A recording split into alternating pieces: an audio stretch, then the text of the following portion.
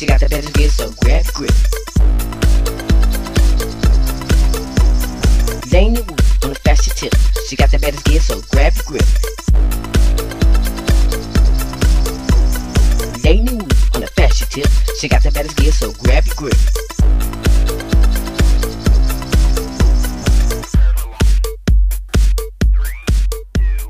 Go ahead, Lani. Everyday Fashion with LaniWoo. I'm your host, LaniWoo. Today's topic is cleaning out your closet. Cleaning out your closet is something that really should be done um, every season, but the most appropriate time I think to do it is after New Year's because you have a lot of things that you're trying to make room for, all your gifts and after holiday purchases. So you need to make room for those new things, so you have to get rid of some of your older items. But everybody knows that it's kind of hard to get rid of some of your items, and if you've seen um, any episode of Hoarders, you can tell that it's really hard for some people to get rid of things because they have sentimental value, they hold memories and things like that. Which brings us to our guest today, Brittany Spain. she's a good friend of, she's a good friend of mine, and we were having drinks one night, and we were talking about stuff in our closet. You remember that? Yes, I do. And she was saying how she just had a suit from the eighth grade she just got rid of and didn't want to. And then casually she says, oh, and I have a t-shirt from the second grade that I still wear. What in the world? Second grade. So I said I knew I had to get in her closet and I knew I had to have her on the show today. So I hope you have that t-shirt with you today. Yes, I do. Okay, so today what we're gonna do is just go over a quick few tips on how to get started cleaning out your closet. For Brittany and people like Brittany out there who like to hold on to stuff for a long time, um, we'll go through the quick and dirty way of jumping into that. So the first thing that you should do in cleaning out your closet is something that's very simple. Um, just go through and take out all of your empty hangers because a lot of times with the empty hangers in your closet, you can't see exactly what you're working with. So that just helps clear things out so you can see clearly. After you do that, um, I think you should go through, and everybody, when I started talking about sentimental items, everyone probably finds something in your closet that you have. Um, so go to those things and try to figure out if you need to keep those or not. So Brittany, where's your t-shirt? Let's start with that. T-shirt.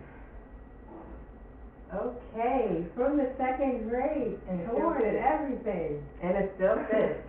Okay, so what do you normally use this t-shirt for? Well, this is just like, you know, around the house where if I have to run to Publix or something, I'll wear a shirt under it. She wears it out of the house, okay. I'll put a shirt under. Under so it, yeah. All my businesses Okay, uh-huh.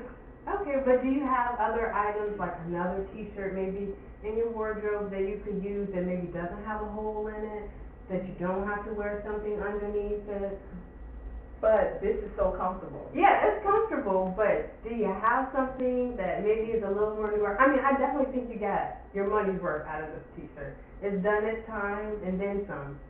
But it's just so nice. It's, It's, it's really nice, it's really nice. good shirt, so. Okay, but the point I'm trying to make is just that if you get rid of this and put this to rest, then you have room for something more updated.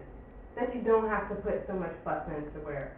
So what, what we're gonna do with this shirt right now is just put this in a pile, or maybe giveaway pile, okay? So we're gonna put that here. Um, so after you go through your sentimental items to try to figure out which, which things you can part with, and if you have something that you really can't part with, then I think you should store it somewhere outside of your closet. But don't get to the point where you have a whole nother closet full of sentimental things. So keep it down to one or two things that you store outside of your closet. So then after that, you should go through each item in your closet and look for things that are torn, ripped, or peeled. Too big, too small, things like that. So, um, you have something here from your closet that's kind of, This is a combination of too big Okay. and it's comfortable, but it's, Okay. it's still too big and a little maybe broken too. How's it broken, Brittany? Well, my button popped off and Oh. I just haven't had a chance to put a new one on, so I just wear a belt Okay, hide it. alright. Yeah. So it sounds, sounds to me like Brittany does a lot of extra work to try to make things that are older work still, like they're updated. What I'm trying to say is, if you had a pair of jeans where the button did fit and it did fit you well, then you wouldn't have to do all that extra stuff. You know, like the belt or the t-shirt underneath the t-shirt. So, I think we should put this in our maybe giveaway pile too, because, I mean, they're still wearable, maybe Yes, somebody do, else they do, right. could repair and wear. Not you, maybe somebody else. So we're gonna put this in our maybe giveaway pile too, okay? Um, so after you go through all of your items to try to figure out which ones, um, should be given away, and this includes any items that you have not worn in the last six to eight months. So I know you probably have other items here that you have not worn in the last six to eight months maybe. Okay, so you should go through all of those items too.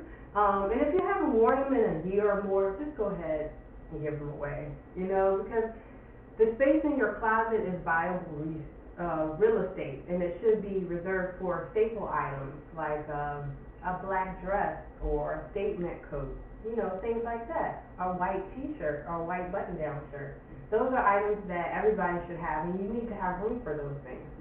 Um, I know it's hard to get rid of things, but they're just things, you know? Intellectual property is the memories that you have because of those things and the things that happen, and nobody can take that away from you. Um, now that you have, um, decided which things you're gonna give away, which I think we're gonna give these away, then you have to decide what you're gonna do with them. Um, you can either have a swap party, a lot of people are doing that with your gently used items and exchanging them with friends. Or maybe you have a friend that is coveted your pair of jeans, you can give them to, or you can donate your items to any shelter, or you can go to a consignment shop and get cash. But there are things that you can do with those items that you're no longer needing. And when in doubt, just give to those who are in need, that's what I do. Brittany's gonna do that too.